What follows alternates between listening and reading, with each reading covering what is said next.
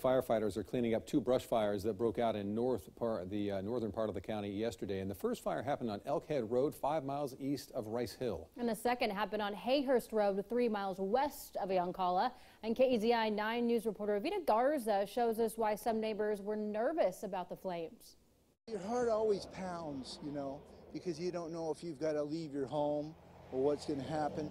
Randy Moore lives right off Hayhurst Road, where one of two brush fires broke out in northern Douglas County. Well, we saw smoke at first, and then as time went on, we started seeing flames from our back porch here. Fire officials tell me the fires were caused by dry weather and reignited burns set by workers who had previously logged in the areas. But Moore says he watched the flames spread fast. And I saw the smoke going that way.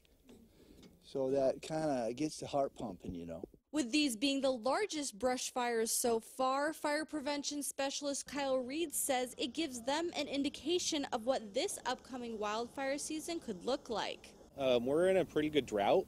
Uh, here in Roseburg, we're a little over 12 inches behind on rainfall.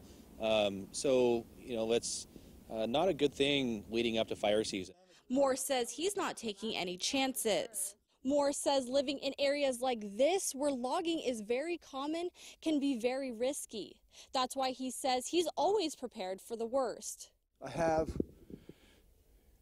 about five 1,350 gallon water tanks for absolute necessities. Fire officials say both fires are well contained for now.